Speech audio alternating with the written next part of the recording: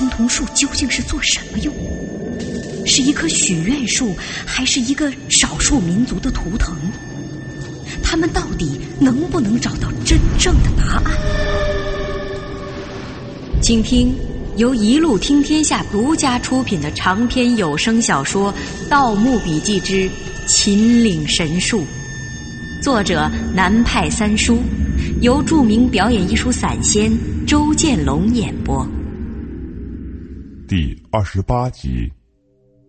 我见老杨把脸挤在那个缝里，好像要钻进来。我暗骂了一声，心说：“你小子刚才死也不进来，现在后悔了吧？”哼！我说：“老杨，别吵吵，我找到有趣的东西了，正在看呢。”老杨皱了皱眉：“哎哎，你你你你找到什么了？”我把刚才发现尸体的经过和他说了一遍。叹了口气，对他说：“哎呀，这家伙可能就是我们的下场了。要找不到路，我们恐怕比他死的还快。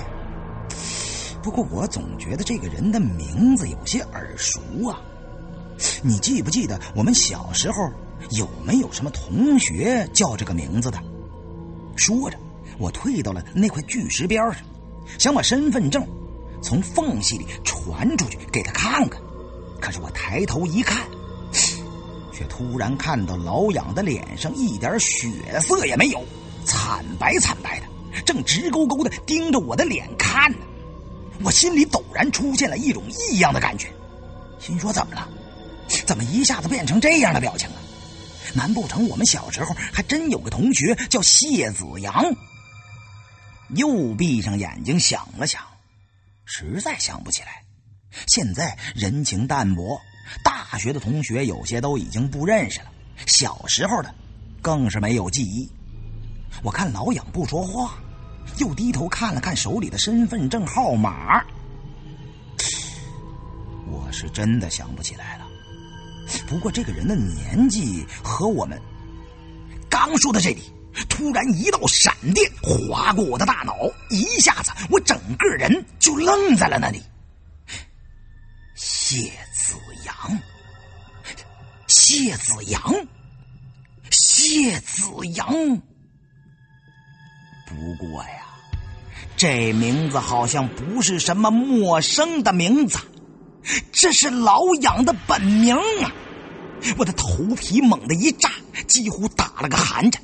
忙仔细的去看身份证上的生日，一看不由得一阵眩晕。我的天哪，真的是老痒的生日！可这这是不可能的呀！这张身份证难道竟然是老痒的？那难道这具已经腐烂成骨头的尸体是老痒吗？可是这不对呀！如果老杨三年前就死在这里了，那在石头外面看着我的是谁呢？我的脖子都硬了，几乎是机械的转过头去，看着石头缝隙里透出的那半张脸，忽然感觉到一阵莫名的恐惧。老杨的脸在手电光的闪烁下显得鬼气森森。看上去竟然和外面看到的那条黑色巨蛇有几分相似了，我不由自主的向洞的内部退去，不敢再靠近那块石头。老痒却一动不动，还是直勾勾的看着我，我也不说话，好像一座石刻的雕像一样。以他的脾气，看到我这个样子，肯定将我骂得像孙子一样。如今这个样子，难道真的因为身份败露，不知道该如何反应吗？此时我心里越发的怀疑，外面的这个人虽然长相、脾气和老痒一样，可能却不是老痒啊。我从杭州来到这里之间的经过，犹如放电影一样，在我脑海中闪过。那一个个谎言闪烁其词，他在青铜树顶和我说的话都历历在目。那在其中一点点积累起来的怀疑，也在这个时候逐渐清晰起来。我一向认为老杨的城府不可能会有这么深，一来我和他的关系，他根本不需要骗我；二来他说那些谎言的时候，无不真切到了极点。如果不是我这个人过于谨慎，根本发现不了的。可是看其他方面，这个人和老杨太像了，我找不出一丝的破绽。虽然我心里已经百般怀疑，还是只认为他的性格改变了。没有想到的根本不是老杨。这个时候，那个老杨终于开口说话了，他的脸缩回到后面。老老啊，我我我我刚才不不让你进去，你你你就是不听。只只只能怪你自自己太固执了，你你你没听别人说过吗？有有些事情知知道了，并不一定是好事我心里咯噔一下，心说果然有问题，一边努力的让自己的声音不要发抖。你不是老杨，那你到底是谁呢？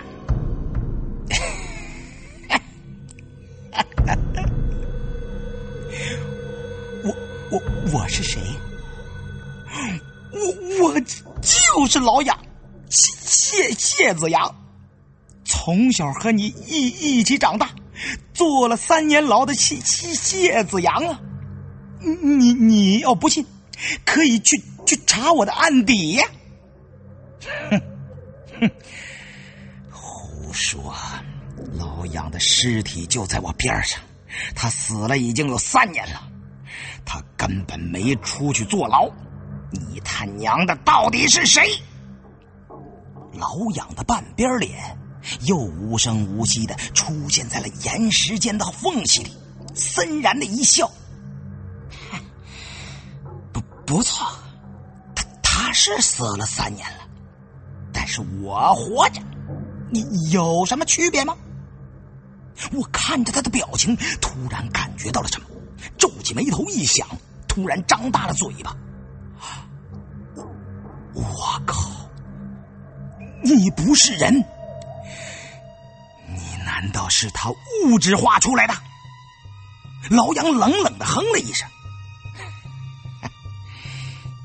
你你怎么不说他是我物质化出来的呢？谁知道呢？哎，我我和他一一模一样。谁谁知道是是是哪哪个先哪个后啊？几乎失控了，捡起一块石头就朝他扔去，他的脸往后一闪，哎哎哎哎，老吴，其实我和他是一模一样的，你不用介介介意，当然有区别，谁知道用这种力量物质化出来的，他娘的是什么东西？那老痒突然沉默，脸色变得很难看，盯了我一会儿，突然狰狞的说：“放放你妈的的的的狗屁！喇喇子就就是老杨，你和他是一一路路货色，那那就怪怪不得我了。”我心里顿感不妙，忽然一支枪管就从缝隙里伸了进来。我赶紧翻身到了死角里，老杨一枪打在了石头上，削掉了一大片。接着，枪头马上就瞄向我在的那个死角，又是一枪，子弹几乎是贴着我的脖子飞了过去。这个缝隙空间实在太小了，就算有死角，也无法保护我所有的身体。我一看情况不对呀，忙一下子关掉自己的手电，让他看不到我。他慌乱之间开了几枪，都没有打到我。我翻身冲到岩石边上，拿起石头就去砸伸进来的枪管子。几下子，那枪管子就给我砸的变成了九十度。那老痒拔又拔不出去，气得大骂。我冷笑着：“哼，什么一模一样啊？嗯，我不认为老痒会朝我开枪。你他娘的就是个劣质的仿冒品。”我自老痒和我提起物质化活人之后，心里就一直有一个疙瘩，总有一股感觉，这棵古老的青铜树在这里不会没什么目的。这种几乎恐怖的能力所带来的生物，会是正常的人吗？真的和我们一模一样吗？会不会是某种妖怪呢？现在看来，这个人虽然不知道是不是和我们一样，但是他显然知道自己是被物质化出来的。不知道为什么，我总觉得事情大大的不妙起来。那老痒和我对骂了一会儿，突然好像想到了什么，就不说话了。接着，他将手电关了，一下子整个空间一暗，无尽的黑暗压来。在这一点光源都没有的狭小空间里，显得格外的沉重。我提防着他有什么诡计，缩到死角里多好。就听他说：“老吴，我我记得你你你小时候最最怕黑了，啊？现现在怕不怕呀？不过你你你可千万别乱想啊！”记得我刚才和和和你说的话没？在这个地方胡胡思乱想的话，小小心你你的灯一开，你面前出现一张死死人的脸啊！我心里直骂该死，这家伙是想我因为对黑暗的恐惧而自己石化出什么怪物来。我心里告诉自己，绝对不能让他得逞，但是内心反而害怕起来。他刚才说的手电一开，眼前便出现一张死人脸，一下子使我的神经吊了起来。我马上就感觉到自己的面前只有几厘米的距离，好像出现了什么东西。我呼出去的热气撞在了那东西上，反冲到我的脸上，带着一股腥臭的味道。没这么灵吧？我想着。从那老痒刚才的表现来看，物质化能力非常难以管制，否则我刚才也不会给这巨眼黑蛇撞得如此狼狈。照道理，不可能这么容易就弄出个怪物来吧？错觉，我对自己说这是错觉，千万不要上他的当。在这么封闭的一个黑色的洞里，恐惧是肯定有的。我深吸了一口气。忽然，脸上一湿，好像有一条冰冷的东西一掠而过。我一下子浑身冒出了冷汗，几乎要尿裤子了。小心翼翼的摸了摸胸口，心脏狂跳，只觉得全身发软。他娘的，这下子没错了！妈的，黑暗里果然多了什么东西！我不敢打开手电，人缓缓的往后靠。想紧贴住石壁，可是我的背一靠到后面，我马上发现那不是石头，而好像是一片一片的鳞片。我甚至能感觉到鳞片下面筋肉的蠕动。天哪！我在胡思乱想什么呢？背后怎么会有鳞片呢？我赶紧闭上了眼睛，紧紧抓着自己的手电，举到自己的面前，刚想打开。突然听到那个老痒做作的惊叫了一声：“哎，老老吴，这这怎么不不开手电呢？我我帮你照照。”接着他的手电就亮了，我猛地看见，就贴着我的鼻子尖里一个巨大的蟒蛇头昂了起来，它犹如水桶一样的身体盘绕在洞穴里，我的头顶、背后的岩石全变成了鳞片的墙壁，黑的犹如宝石。被老痒的手电一惊着，四周鳞片抽动，身体缓缓的摩擦，发出了令人胆寒的嘶嘶声。贴着鼻子的巨大舌头，满眼蠕动的鳞片，我不知道怎么来和别人说这种震撼。一下子，我的心脏好像停止了跳动了，浑身僵硬的犹如石头一样。第一次实际领略这种能力的巨大威力。让我仅有的一丝怀疑也一扫而光了。可是这条巨大的黑色蟒蛇是如此的真实，每一片鳞片，空气中的气味，这种无处不在的摩擦声，都毫无破绽。我实在想象不出这东西是怎么突然产生的。如果刚才亮着灯，难道会砰的一声凭空就变出来吗？那个老痒还在外面叫着什么，我也没有心情去理会它了，只觉得那种爬行动物毫无感情的目光在我身上徘徊。本来我所处的岩石缝隙就小。现在突然出现了这么一条黑龙一样的巨蟒，连做广播体操的空间都没有了。这个时候，只要那条蟒蛇随便一张嘴巴，往边上这么一咧，我就马上嗝屁朝凉啊，什么都完蛋了。我心里闪电般的盘算了一下，蟒蛇的嗅觉和视觉都很灵敏，没道理看不到啊。现在只有一个希望了，就是他对于我这样的体型不感兴趣。蟒蛇是不会捕食体积太小的东西的。我只要坐着不动，不引起他的恐慌，可能就会放任我不管。但是如果这一招不管用，那这一次就真的无计可施了。我咽了口唾沫，尽量不让自己发抖。巨大的舌头在我耳边舔过，留下极其难闻的唾液。但是幸运的是，他只是抬起头注视了我一下，马上转头去看那在石头后面的老痒的手电光源。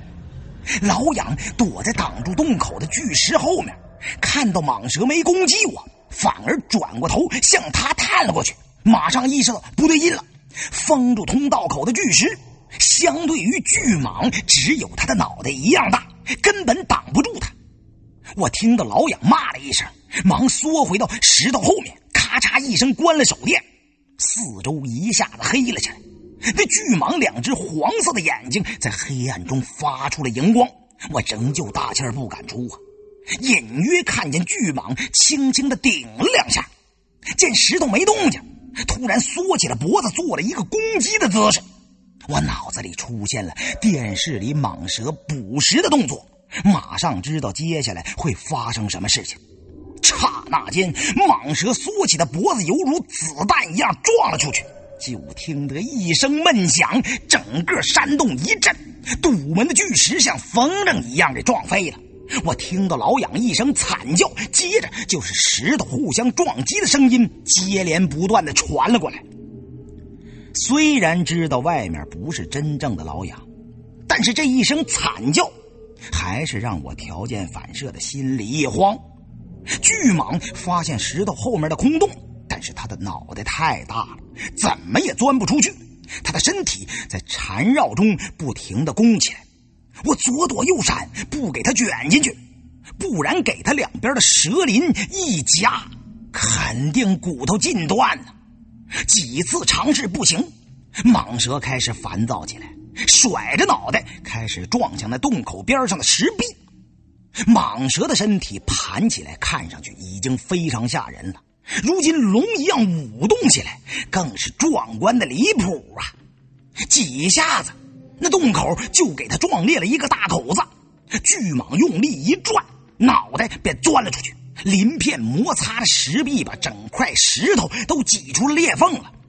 巨蟒将前面挡路的石头尽数向外推去。我跟着蟒蛇出去，看到老痒躺在碎石堆里边，几乎全部身体给压在了石头后面，气息微弱。看到我，他咳嗽了几声，似乎想说什么，可是嘴巴一开，血就从嘴角里流了下来。我检查了一下他的伤势，试着搬动一下石头，可是，一眼看下去，下半身已经全部压烂了，实在连看都不能看了。我叹了口气呀，哎，你，你还有什么话说？他看了我一眼，咬了咬牙。从岩石缝里扯出他从王老板那里弄来的背包，甩给了我。我接过包，心里也不知道是什么感觉。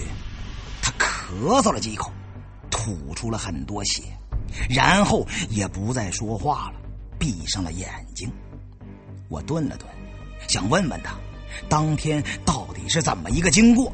忽然，轰隆一声巨响，整个山洞狂震，我几乎连坐也坐不稳了，撞到了岩壁上，顶上又是悠长的一连串石头开裂的声音。我吓得够呛，心说难不成外面那条巨眼蛇又开始撞了？忙猫着腰向洞外爬去。老痒这时候突然嘶哑的叫了一声：“老老吴！”我愣了一下，不知道他还想说什么。回头一看，只见他对我张了张嘴巴。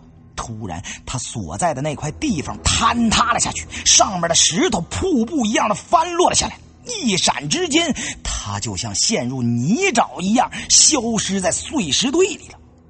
我心中一悸呀，竟然有一种撕心的感觉。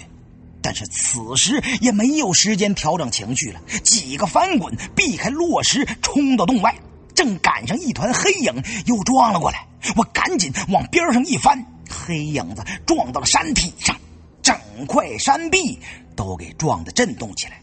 石块纷飞，山体蹦出了一条裂缝，一直从我站的地方延伸下去。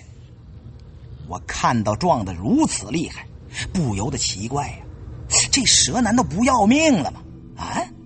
转头一看，原来不是这样的。只见刚才爬出去的那条黑蛇巨蟒，已经和从青铜树中爬出的细鳞巨蛇缠绕在了一起，斗得难解难分呐。那细鳞巨蛇体型比蟒蛇大出不少，但是打斗起来却丝毫占不得一丝上风。加上两条都是黑色，一时间也看不出谁是谁了。只见两团黑色的旋风在青铜树上不停的缠绕，尾巴乱扫，将四周的石笋、石乳拍得像炮弹一样乱飞呀！我从没见过如此惊心动魄的场面，只看得呆了。突然，一条尾巴直接扫在了我的脚边上，我站的整块石头给扫成了石粉。情急之下，我忙往四周一抓，却没料到边上的石头全部都已经给撞得松动了，一下子没抓牢，整个人向下面的深渊就栽了下去。几分钟内几次经历大生大死啊。一下子我也反应不过来，大叫一声，忽然就听到了轰隆的水声，接着浑身一凉，耳边一静，整个人竟然掉进了水里。他娘的，哪儿来的水呢？我一直刺进水里六七米才停下来，入水的姿势根本无法调整，就听见脖子嘎巴一声。不知道是不是断了，浑身用不上力气，人直往水里边沉去。正在无计可施的时候，一个人影从背后游了过来，将我拖住，把我就往上带去。